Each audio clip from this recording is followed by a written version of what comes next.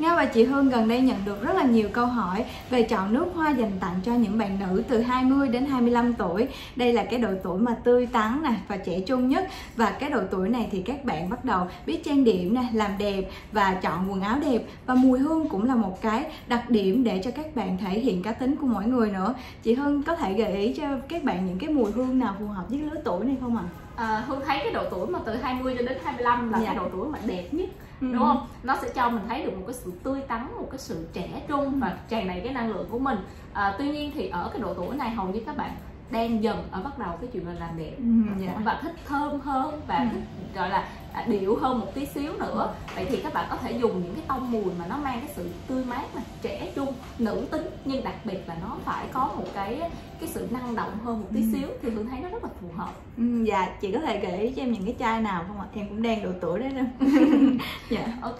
Khi mà đầu tiên á các bạn mới dùng nước hoa thì các bạn nên chọn những cái mùi hương nó tươi mát nó thể hiện một cái sự gọi là nhẹ nhàng nhưng mà nó cũng mang một cái cá tính riêng của mình. ừ. thì hương thấy những cái tông mùi mà có một chút cam chanh một chút bạc hà và đặc biệt là cái mùi hương nó thoang thoảng, nhẹ nhàng, thì nó sẽ mang lại cái cảm giác rất là dễ thương. Thì đây là cái dòng nước hoa của Awadizor nè thì em sẽ thấy được cái sự kết hợp giữa chanh vàng với bạc hà khi mà vừa mới nghe một cái chúng ta sẽ thấy một cái mùi nó rất là trẻ đặc ừ. biệt là phải trẻ trung và phải dạ. cá tính mà gọi là cá tính nhưng mà đừng có đừng có quá ngọt đừng có quá nồng thì ừ. hầu như các bạn không thích ừ. còn ngoài ra thì sẽ có những cái bạn mà chúng ta cái gu bánh bèo một chút gọi là nữ tính nữ một tí xíu dạ. thì các bạn có thể chọn một cái mùi hương mà nó một cái sự kết hợp giữa hoa nhưng mà quan trọng nhất là xạ hương cái tô mùi phấn á, nó làm cho con người mình rất là trẻ đó thì à, các bạn có thể thử qua cái dòng nước hoa của Narciso Pauli thì đây là một cái mùi mà hương thấy là các bạn nữ không nên bỏ qua.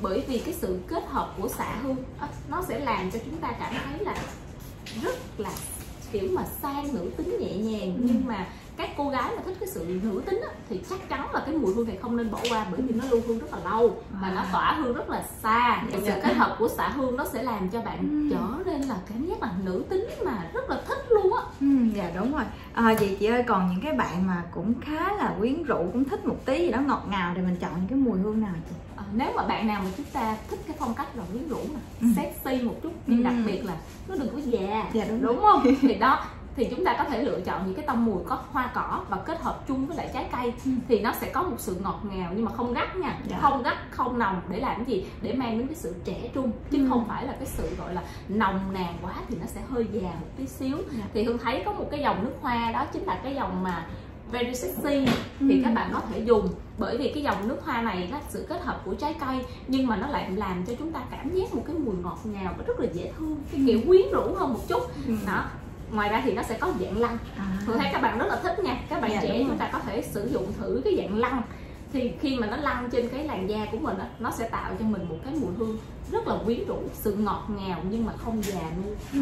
nghe cái tên là biết là quyến rũ rồi đúng dạ, không đúng rồi mà nó không có bị già ha chị nó vừa nó quyến rũ cách ngọt ngào á đúng ừ. rồi cái kiểu giống như là viên kẹo ngọt dạ. quyến rũ và cuốn hút một ai đó à. là nó làm cho mình rất là thích và ừ. đây là cái chai dạng lăn và các bạn rất là thích khắc tên trên cái chai à, dạ. giống như là nó đánh dấu rồi cái quyền cá nhân của mình vậy đó.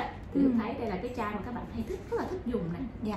Ừ, rồi vậy thì những cái bạn nào mà thích mùi hương tươi trẻ và năng động tươi mát một tí thì chúng ta có thể chọn uh, Aqua Diesel. Và còn nếu như mà các bạn thích cái sự uh, nhẹ nhàng nữ tính thì đây sẽ là một lựa chọn rất là hợp lý luôn. Nachiso nha.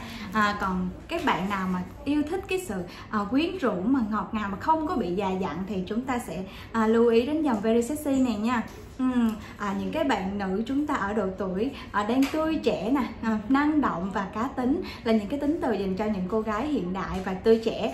Và nga tin chắc là sau hết cái video này thì các bạn sẽ lựa chọn được cho mình những cái mùi hương phù hợp cho bản thân và kể cả những bạn nam cũng sẽ lựa chọn được những cái món quà dành tặng cho bạn nữ của mình nữa. Mến chào và hẹn gặp lại các bạn ở những video hỏi đáp nước hoa số tiếp theo nha.